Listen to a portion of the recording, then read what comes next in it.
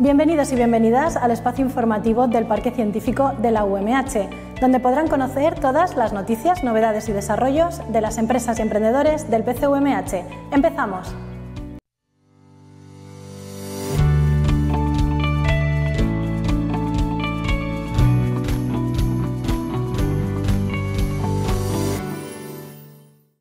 La empresa Digriser ha firmado recientemente un acuerdo con la distribuidora ERSA para llevar su innovadora cuchara desgrasadora a grandes superficies como Carrefour o el Corte Inglés. Este utensilio de cocina permite eliminar de manera eficiente, rápida y sencilla la grasa de alimentos como caldos, guisos o sopas. Los promotores de esta compañía nos cuentan los detalles de este acuerdo.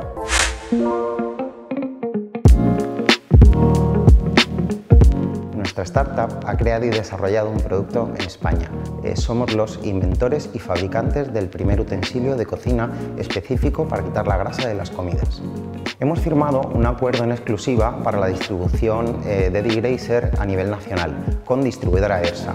Supone eh, un hito fundamental por la importancia que tiene entrar en, en grandes superficies, puesto que nos vamos a posicionar en el mercado junto a otras marcas principales del sector del menaje. Degraser se comercializará en grandes superficies, así como en cadenas de ferreterías, posicionando nuestra marca entre las principales marcas del sector del menaje. Actualmente estamos en 20 puntos de venta entre físicos y tiendas online. También nos encontramos en tiendas específicas de homenaje como Valira, en tiendas online como, eh, tan conocidas como Planeta Huerto, IKEA, Mirabia, así como en Amazon o en nuestra plataforma web www.digracer.es ganar fuerza con el movimiento de Grazer para poder trabajar sobre los objetivos saludables y sostenibles colaborando con diferentes ayuntamientos, colegios y universidades. Nuestros siguientes pasos eh, son lanzar al mercado eh, el pack de reciclaje de Grazer y de Grazer en acero inoxidable.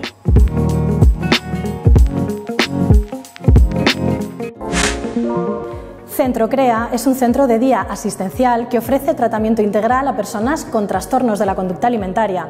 Además de esta terapia, el centro cuenta con un valor añadido, un servicio de comedor terapéutico donde los pacientes realizan diferentes comidas bajo la supervisión de profesionales. Con el objetivo de contribuir a este servicio y a la labor que desarrolla Centro CREA, la Fundación Juan Perán Picolinos ha establecido recientemente una colaboración con esta spin-off. De la mano de representantes de ambas entidades conocemos más sobre esta colaboración.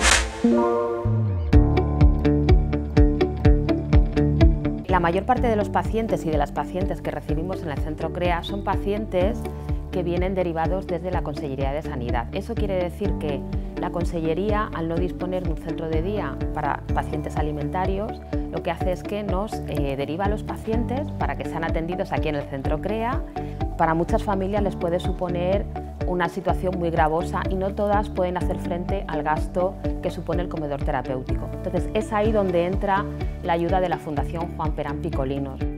Ejemplos como, el, como CREA son los que queremos realmente eh, ayudar y, y, exponer, porque son los que nos muestran claramente que no son números, sino que tratan con personas y que tratan para la mejora de la salud de esas personas. Lo primero es que comen eh, todos juntos eh, y eso genera un ambiente de acogida y se vuelve a socializar. Además, eh, las tomas vienen supervisadas por el equipo de nutrición, sin que puedan tener ningún tipo de control acerca de lo que comen y lo que no comen. Y además también están supervisadas por los profesionales y por las profesionales del Centro CREA que les dan apoyo y que tratan de generar ese entorno de grupo, de apoyo social, que es tan importante para poder salir adelante en un trastorno tan grave como un trastorno alimentario trabajo que hacen en el Centro CREA, eh, como bien lo explica María José, eh, hacen un trabajo muy concreto, todo tiene un porqué, todo tiene un objetivo y me encanta porque no es solamente pues bueno pues rellenar el formulario que se vayan no o sea es realmente llegar a que las personas que llegan aquí realmente sanen, realmente eh, tengan un proceso, ¿no? un buen proceso para llegar al objetivo que es curarse y estar bien. Qué son las tecnologías disruptivas, cuál es su papel actual en la empresa o cómo pueden ayudar a desarrollar soluciones para los desafíos de la industria son algunos de los aspectos que han podido conocer los asistentes a la segunda ruta formativa organizada por el PCUMH de la mano del técnico del área de crecimiento empresarial del Parque Científico, Olex Oprisnik, conocemos más sobre estas sesiones de formación, nos despedimos y les recordamos que pueden encontrar más noticias sobre nuestras empresas y emprendedores en nuestra web parquecientificoumh.es.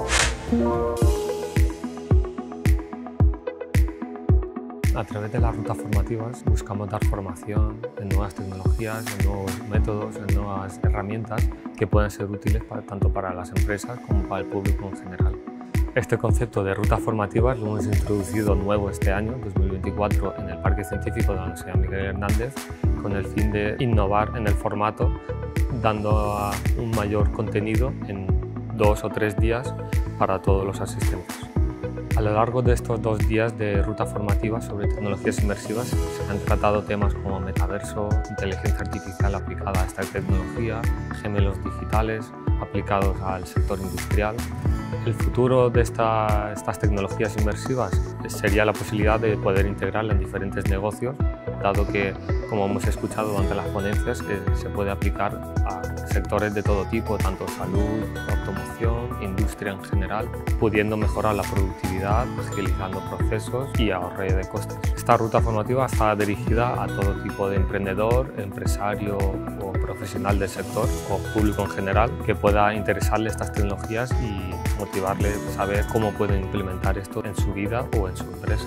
Durante las charlas y las mesas redondas que han tenido lugar durante esta ruta formativa, podido escuchar casos de éxito, como por ejemplo Active, empresa de mobiliario, cómo ha implementado estas tecnologías para poder mejorar el valor añadido a sus clientes. O también hemos tenido escuchado casos de empresas que se han creado solamente para promocionar, para ofrecer servicios de estas tecnologías inmersivas.